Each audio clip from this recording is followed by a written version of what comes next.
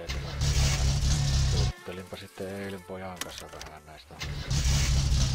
Poika on tommonen haasteikäinen se päätä mitkä istuu joko tietokoneen te telekkari eesä ja eilen sitten vähän